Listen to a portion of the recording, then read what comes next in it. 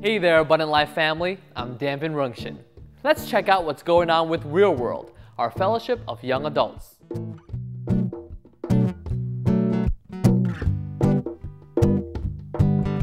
Hey, young adults at ALCF, we're bringing you a series about love, sex, and marriage. What we aim to do is teach you new truths. Open up your schedule and make it free. Come to Real World Friday and then you'll see it's a place to learn about love, love, love, love, love.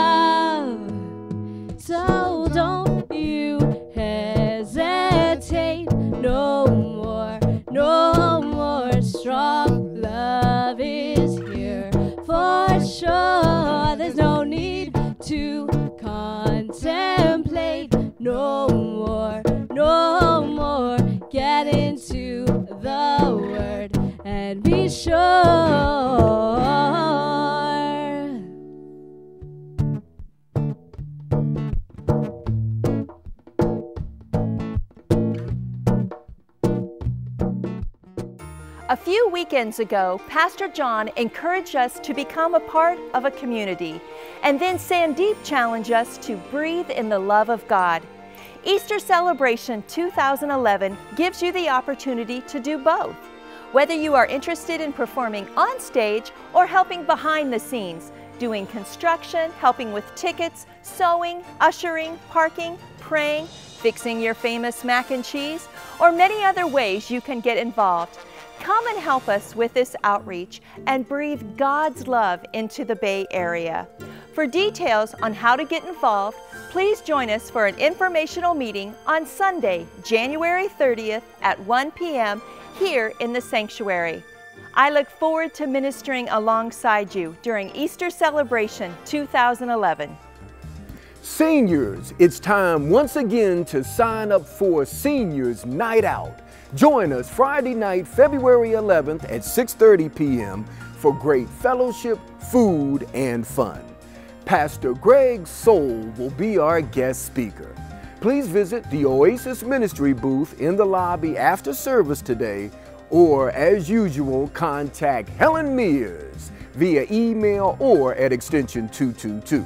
And don't forget to also ask about our daytime activities. Jehovah Jireh, God our provider. Jehovah Nisi, God our banner. Jehovah Shammah, the God who is there. The names of God reveal his character and how awesome he is. In 2011, the Women of Worth Fellowship will be focusing on the names of God. We'll be meeting next Saturday, February 5th at 10 a.m. in the Fellowship Hall, and Pastor Cora will be speaking on El Roi, the God who sees me. All women are invited to come and experience this wonderful time of prayer, worship, connection with other women, and intimacy with God. Please contact us by Wednesday, February 2nd to reserve childcare. To learn more, go to alcf.net slash women. In Matthew 5, Jesus said to his disciples and to all of us, You are the salt of the earth, and you are the light of the world. In misguided attempts to answer that call, people have come up with some pretty scary approaches to sharing the gospel. Here are a couple. Sinners, God has Standing on a street corner with a bullhorn, threatening people with eternal damnation. That's more like being pepper than salt. Trying to badger people into submission by subjecting them to a never ending religious monologue. That's more like being an 18 wheeler with the brights on, bearing down on someone, than being the light of the world.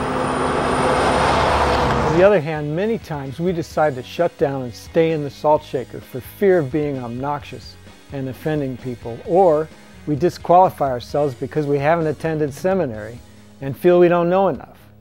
The trouble with that is we have this wonderful message of hope stirring within us that is just too good to keep to ourselves. I want you to know there is a sane and fruitful way for each and every one of us to share the gospel.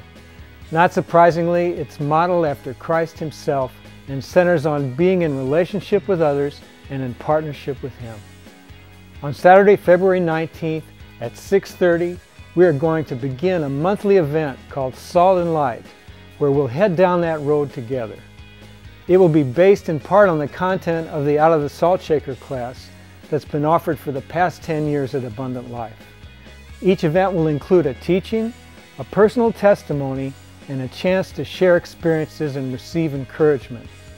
There's no need to RSVP or sign up. Just show up. I hope you can come. There's so much to be gained by answering Jesus' call to be the salt of the earth and the light of the world.